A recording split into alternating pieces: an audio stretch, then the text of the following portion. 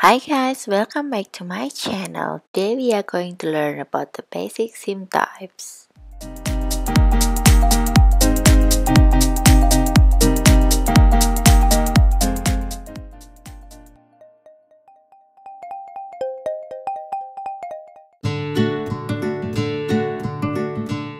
Okay guys, let's start to learn about this plain seam, open seam.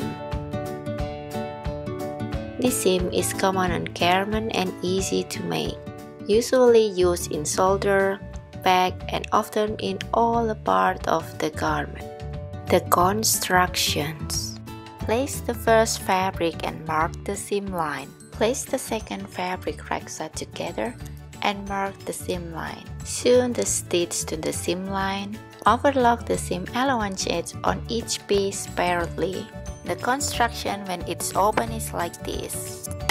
How to make it Prepare two pieces of fabric, mark the right side and wrong side, put it in layer right side together, mark the seam line about 1 cm seam allowance. Ready to sew! Remember to lock the stitch in the beginning and at the end of the seam line. Sew the both fabrics in the seam line, trim the thread, open the garment sample, turn to the wrong side where the seam allowance is, open seam allowance and press it in the middle.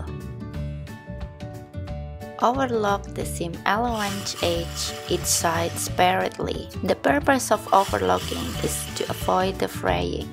Here is the result of the right side. The right side in this seam usually used for the outside of the garment and this is how the wrong side looks like with the open seam.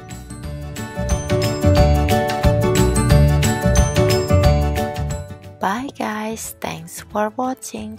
Leave the comment down below what next video we should discuss in our channel subscribe for more video.